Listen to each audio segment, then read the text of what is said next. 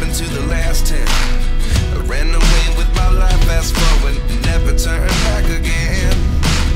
It's kind of funny that the more we pass time, the more we need to set the rewind. And 19 was the year I had to leave you, but now I'm seeing all the signs. Is this really happening? I can't believe it's true. I'm just as surprised as you.